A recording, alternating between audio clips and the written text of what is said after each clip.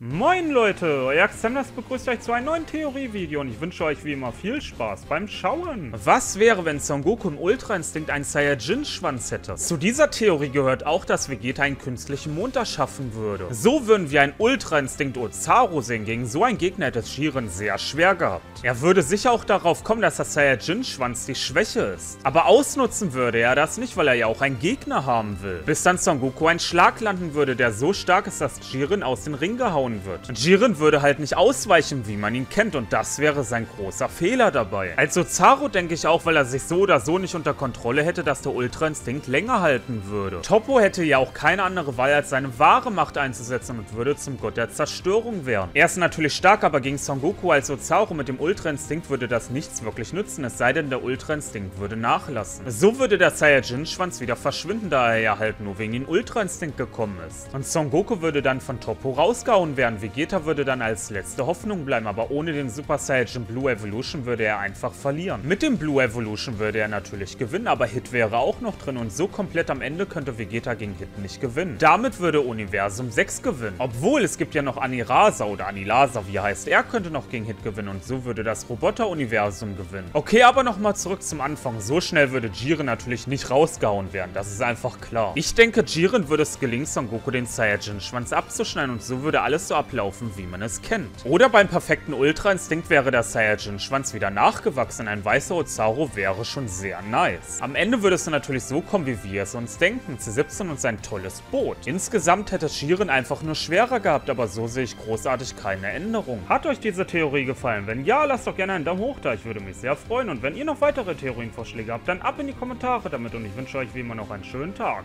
Bye!